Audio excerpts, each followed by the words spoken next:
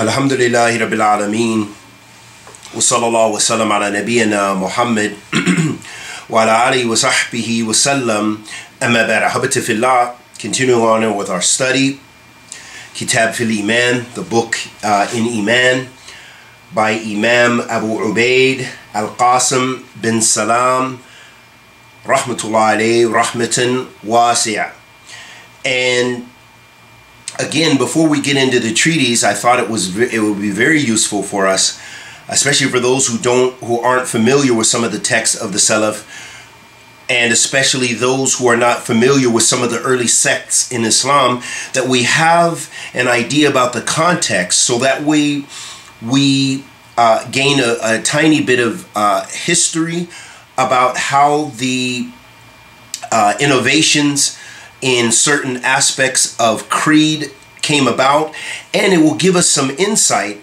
into how some of the groups, the contemporary groups like the Asha'ira and meaning Asharis and the Deobandis, as we've been talking about recently, and some other sects, and really, in fact, a lot of the Sufi sects that really they have begun to codify their understanding of creed, of Aqidah, in the with some of how how some of these classical, if you will, classical mubtadi'een, those classical innovators uh, codified their creed, meaning that they accept, they take some of those same premises and they are an evolution.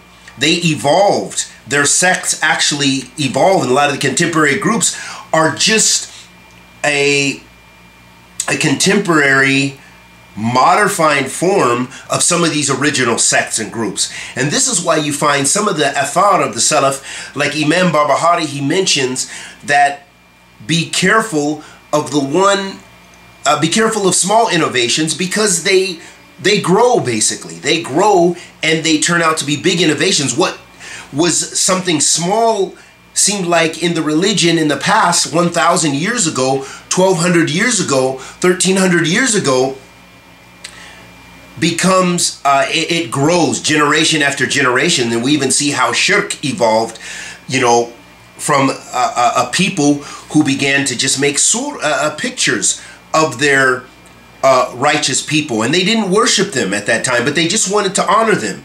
Then the next generation after they died the next generation began to to go a step further and venerate them. And the next generation began to just outwardly totally worship them as gods. And this is how innovation and how kufr even uh, it evolves. So it's a very serious thing. And this is why you see that Ahl Sunnati wal Jama'ah is haris on, on adhering to these principles. And the contemporary people don't understand this. They don't understand why are Salafis so vigilant about refuting Ahl Bid'ah? Why don't you leave Hamza Yusuf alone? Why don't you leave Nouman Ali Khan alone? And I'm sorry to mention names and I didn't really want to, but sometimes it just comes out.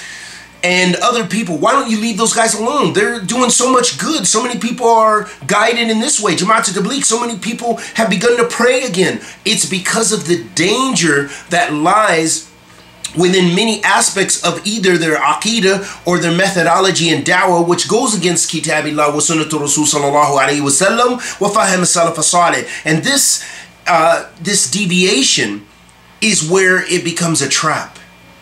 And it's hard to break free when you love someone so much and you see things that yukhalif ashar, that go against the and sometimes even shirkiyat or other forms of bid'ah mukaffara or bid'ah ghayr mukaffara. Let's get back on track. So, ahabata fillah, going back to the imam to set the context, we're going to look quickly, as quickly as possible, at some of these sects, uh, the early sects in Islam. For example, the Jahmiyyah. So here on this chart here, we have the Jahmiyyah here, then we have the Mu'tazila, and then we have the Kulabiyah, and we have the Asha'ira here. And although our text is about Iman, we're just going to get, you know, just a little tasawwur, a, a, a, a little bit of uh, uh, uh, an impression or picture of what are these groups, these mutakallimun, these groups of the Ahl Kalam. Because you'll hear, if you uh, mix with Asharis and stuff like this, you'll hear them talking about Ahl Kalam. Uh, Kalam is so good in studying philosophy. And you look at the Deobandis curriculum, they want you to study philosophy. Azhar, they want you to study philosophy and things like this in order and then this is supposed to strengthen your islam. How does philosophy and those things which are external to islam how do they fortify the muslim and make him a better muslim? Yes they can teach you to what not to believe and what to rud but they are incorporating that in their uh, beliefs and this is where ahl kalam a lot of their their beliefs came from. So the jahmiyyah uh, to be a little bit more concise because there's so much to say the Jahmiyyah, as far as we're just going to look at three categories here. We're talking about the issue of Iman. Where do these groups stand with Iman? Where do these groups stand with Al Asma'i wa Sifat, the attributes, divine names, and attributes of Allah? And where do they stand with regards to the Qadr, the decree of Allah subhanahu wa ta'ala? And uh, all of these things, this has to do with Iman and the pillars of Iman. Because what are the pillars of Iman? According to the Hadith of Jibril, alayhi salatu he, uh, when uh, Jibril salatu asked Muhammad alayhi wasallam, and what is Iman? The Prophet ﷺ said, "In tu'minu billahi wa malaikatihi wa kutubihi wa rasulihi wal yawmil akhir wa tu'minu bi qadri khayrihi wa shar." It is to believe in Allah, and that's where our asma wa sifat, the divine names and attributes, because that's a part of believing in Allah subhanahu wa ta'ala. And tu'minu billahi wa malaikatihi, and the and the angels. That's umur al-ghaybiyah. Uh, wa malaika wa kutubihi, and his books ورسوله and his messengers عليهم after salatu wasalam ورسوله واليوم الآخر in the day of judgment we didn't talk about the day of judgment here but I thought it was a little bit out of our scope because we're not we just want to get a, a an, an, idea about these groups and uh, and believing in the divine decree the good and the bad of it and that's why qadr is the third third point I want to talk about with regards to these groups okay the Jahmiyyah so the Jahmiyyah were one of the first. They preceded these other groups. Okay, and they uh, the Ahlul Sunnah at the time, the Salaf have pretty much made ijma, uh, uh, consensus about takfir of them, that they are disbelievers, and you're going to see why. First, for them, the meaning of iman was ma'rufat qalbiyya. It was just knowing uh, uh, Allah in the heart. Okay? It, it, it's just no one is having, just that you, you have an acknowledgement. Yes, there's a God. Yes, Allah exists. That That's basically their iman in a, in a nutshell. And we're going to talk about that more in the next Dars or the next sitting, uh, a little bit about some more details about them. But we just want to get, a, again, a tasawwur. So they believe that iman is just simply in the qalb, in the heart. And, and, and in fact, it's just an acknowledgement that Allah exists. Similar to the shaitan. Uh, in fact, the shaitan had more iman and a better understanding of iman than the Jahmiyyah and Fir'aun. And according to their belief, we'll talk about the implications of that later.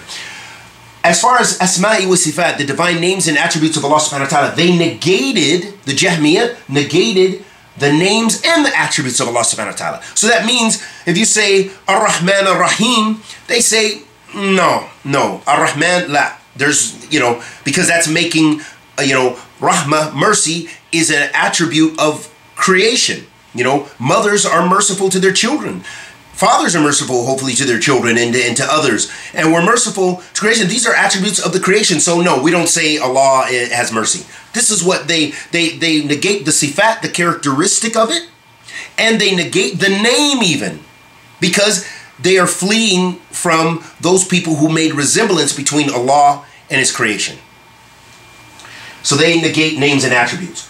As far as Qadr, the divine decree, they also negated ilm. So they were, you know, some of the beginning of the Qadariya sect, of the of those who negated that Allah subhanahu wa ta'ala knows everything eh, and knows everything, knew, knew everything that happened in the past, knows everything in the future, knows what's happening now, and knows what could have been. Allah subhanahu wa ta'ala knows everything. He created us. They negate that Allah has ilm, that He has knowledge of these things. So this you can see from their negation of names and attributes of Allah and and knowledge that that Allah this is so so this belief is filled with a lot of kufr of disbelief in Allah subhanahu wa ta'ala. So for this reason the Salaf they make takfir of them. They also have other ish other beliefs uh, you know like they believed in the creation of the Quran, the Quran was created, many many other uh, beliefs and reasons why the Salaf made takfir of them. But we we want to keep it simple simple because we're really concerned about iman because that's what Imam uh, Abu Ubaid uh, Al Qasim bin Salam his treaty was about is about iman. Like Mu'tazila, the second sect I want to talk about, you know, which was and some of these sects they evolve some from others and as a reaction to others. And something I've mentioned in the past, and I want us to drive this home, is always remember this. And uh, it's very important because it gives you an understanding and it gives you some fiqh in fact. Because what we see is a lot of people don't understand that bid'ah has different levels and Ahl Sunnah has different levels. And from that, then they take everything as the same. They say, oh, this person did the smallest bid'ah, they're a mubtadi'ah, they're a caller to bid'ah, I'm going to make hajr from them, I'm going to do. So you don't treat everyone the same. You don't treat everyone the same, and there's this comes under fiqh mukhalif. This comes under the understanding of how to to interact ta'amul mal mukhalif, how to deal with the those people who differ with the truth. Al mukhalif, laysa mukhalif min ant, not a, a, difference between you. And that's another whole another issue. We don't want to open that up in the study of this treatise. So the point being, fillah, the Mu'tazila, they uh, are less than the Jahmiyyah. You know, as far as I don't know uh, of the, the scholars making takfir of them uh, you know, unless they're khalis and, and, and so forth. But as far as the issues of the, uh, they believe iman, faith, is, is, is, is the heart, the tongue, and the jawari. So they basically, the Mu'tazila, have the aqid of Ahl Sunnah with regards to iman. And that's why I wanted to emphasize, like we said, uh, Ahl Bidah tafawut. Because some of them, they have muwafaqa. They agree with Ahl Sunnah on some things. They agree with Ahl Sunnah on some things. And it just depends on their bud, their, their, their, their distance from the creed of Ahl Sunnah in how we deal with them and how they, uh, you know, for example, someone who's a Jahmiyyah Khalis, this person's a disbeliever. So we don't even treat them, you know, as we, we treat, uh, you know, the other ahkam of Ahl Islam, basically. Mu'tazila, okay, this guy, that means his he believes the same as we, you and I do in Iman. The Aqidah of Ahl Sunnati wal Jama'ah. Right. So the diff- you're going to deal with them differently. Anafi as-sifat. They negate, the Mu'tazila, they negate the attributes of Allah subhanahu wa ta'ala. They negate the attributes of Allah subhanahu wa ta'ala. But, however, they make ithbat. They affirm, they affirm, they affirm his, uh, the name. So they say, that means, they say the divine names of Allah subhanahu wa ta'ala. So that means, for example, in the example we mentioned before, Ar-Rahman. Okay? So they say, yeah. Allah is Ar-Rahman. That's one of his names. Without the Rahmah, without the mercy. Because they're afraid to say that you know, mercy, which is a characteristic we see in the creation, they're afraid of making a similitude. But rather, Ahl Sunnah, we say, Nam, the creation has mercy. Allah subhanahu wa ta'ala has mercy, but his mercy is unlike his creation. وَلَمْ يَكُنْ لَهُ كُفُوًا أَحَدٍ uh, We also say that Allah subhanahu wa ta'ala, we say, لَيْسَ كَمِثْلِهِ شَيْءٍ وَهُوَ السَّمِيعُ الْبَصِيرُ That there is nothing like him. As Allah subhanahu wa ta'ala says for Kitab al-Kareem, وَهُوَ السَّمِيعُ الْبَصِيرُ And he is all hearing and all seen. Right. So they uh, negate the names of Allah subhanahu wa ta'ala. And as far as qadr, the divine decree, they negate the shafa'ah because they have their particular pillars of Islam. And again, this is kind of outside of our scope. We're not going to talk about that in depth. But they negate shafa'ah. They're known as the uh, wa'idiyah, like, like the Khawarij as well. So they, they negate as far as the qadr, that means they believe someone who dies uh, on uh, someone, they believe that the that a person is baina manzilatain. That the ahla uh, kaba'ir, the people who do the major sins, that they're not, so someone who drinks wine, they fornicate. Fine. For the Mu'tazila, they say, well, that person is not a believer. And likewise, they're not a disbeliever. But they came up with a new category that is not that's not known in the Shara. And they say they're Baina Manzilatain. They're between that and that. But they do believe that they'll be in the hellfire forever. Okay? So they negate the shafa. They don't believe there'll be an intercession from uh, and that Allah will forgive those who do major sins if He so wills. Uh, as Allah subhanahu wa ta'ala says, uh, في كتاب الكريم إن الله لا يغفر أن يشرك به ويغفر ما دون ذلك لمن يشاء. Verily Allah forgives uh, does not forgive those who commit shirk with him, but he forgives other than that for whomsoever he pleases. Like Jimmy. Kulabiyya. Also, uh, when we talk about the Asha'ira, Imam Abu Hassan al-Ashari, rahmatullah alayhi rahmatul wasiya, that he went through various stages because he studied with a Mu'tazili scholar. And so he spent a lot of years on this creed. Then I believe he went to, he morphed into Kulabiyya and some of their issues. And then in the end of his life, he came back to Ahl Sunnah and he refuted extensively in some of his books uh, Ahl Bid'ah and these other uh, sects. Anyhow, Kulabiyya, which really no longer exists, but there are some characteristics of their creed that you find in, in certain groups and individuals. They believe that Iman, faith, is uh, uh, a qawla lisan, is a statement of the tongue, and it's an issue in the heart. So they don't believe in amal. So they have irja. They have they are uh, murjia in their uh, iman, in which they take away iman. Iman. I mean, uh, amal or deeds are not a part of iman. As far as the uh, asma wa sifat, the divine names and attributes of Allah Subhanahu wa Taala, they affirm the names of Allah Subhanahu wa Taala, His divine names Subhanahu wa Taala, but they negate some some of his sifat. So they don't, so they're closer to Ahl Sunnah in this, in the bab of Al Asma'i wa Sifat. Okay? They affirm all of Allah subhanahu wa ta'ala's divine names and they negate some of his his uh, sifat, some of his divine characteristics. As far as the qadr, the decree of Allah subhanahu wa ta'ala, they believe the same as Ahl Sunnah.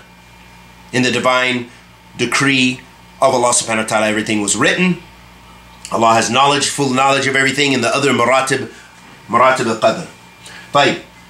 Then we get to the Asha'ira, which we deal with in contemporary times. Uh, many of the Muslims and many uh, of the schools of thought around the world, they are coming from Ashari Creed. And what they believe about Iman is they believe Iman is tasdeeq, you know, so it's it's like belief in the heart. Uh, tasdeeq biqalb so they have uh, they have irja as well because they don't believe that amal, that deeds are a part of that. And these are some of the most Im, uh, famous uh, ashari like Baqillani and, and others, and that they have this this uh, this uh, creed, this akida, and also another point I want to mention is that these various groups that they also split so you have various sects, especially Asharis and other creeds. They're not just one particular view, but you had certain imams of them that had certain beliefs and, and people followed them like a school of thought as far as Aqidah. And this is how you see it splits. افترقت اليهود على 71 فرقة وافترقت النصارى على 72 فرقة وستفترق هذه أمة على 73 فرقة كلها في النار واحدة. You know, the Jews broke into 71 sects, Christians 72 sects, my ummah, meaning Muhammad Sallallahu ummah, the Muslims will break into 73 sects, all of them in the fire except one. So you see, the, the they they would split. They would split. People would start halakat groups, and then they might innovate in the deen, and their students would innovate and codify that aspect of creed. So you can see how it splits and how these sects split. But back to the Asha'ira, they, uh, as far as divine names and attributes, this is one of the biggest issues we have with uh, Asharis is that they negate some of the sifat of Allah subhanahu wa ta'ala. They negate some of the sifat also in issues of Iman, as we said. But perhaps there are some Asharis that believe in Iman similar to Ahl Sunnah. It just depends, you know. So there's a morphosis, a morphing of the, the, the creed and a morphing of the bid'ah a lot of times. So they negate some of the sifat of Allah subhanahu wa ta'ala. And as far as the the, the qadr, they have the they believe in the qadr uh, similar to Ahl Sunnati wal Jama'ah or like Ahl Sunnah. They have the same belief. So I think what we can gain from this before we get into the treaties is understanding that Ahl Bid'ah has different levels. And Ahl Sunnah has different levels in accordance with their knowledge. You know, our knowledge is not like our scholars and not like the students of knowledge, those strong students of knowledge. We're just simple people, and maybe some of us are beginning students of knowledge or whatever the case may be. You know, people are in different levels in their knowledge. And so it's very important to realize, you know, Ahl Sunnah has different levels in accordance with their practice and their and their their iman and their their strength and knowledge, especially. And Ahl Bidah, likewise, they have different levels and different, um, uh, and some are closer to the Sunnah than others. You know, we can talk about the Khawarij, for example, who make takfir to the people for the major sins. The original Khawarij is, is pretty different in some traits from the uh, latter day Khawarij, meaning of this time, of contemporary times. Contemporary times, we'd say groups like Al Shabaab, Boko Haram, ISIL or ISIS or Daesh, and other groups, they, they have many things in their belief which is like Ahl Sunnah. But it's the issue of takfir and the issue of their understanding of jihad and and and and and, and causing facade around the earth, those issues where they differ with Ahl Sunnah and where they go far astray, and it has other implications, you know, and making takfir of people for not joining them and all this. These are attacked um, aspects of the original Khawarij creed. But in other things, as far as Iman and as far as divine names and attributes, generally they agree with Ahl Sunnah. And they also have difference between each individual or each jama'ah. So anyway, those are some of the things that we want to get a get a background about before we get into the book of Al Iman by Imam Abu Ubaid Al Qasim As Salam Rahmatullah alayhi Rahmatin Wasi'ah. And we ask Allah the Almighty to accept our good and forgive our evil. Anything I said was correct from Allah Azza wa Anything I said that was incorrect from myself. The shaitan wa sallallahu wa sallam ala nabiyyina Muhammad.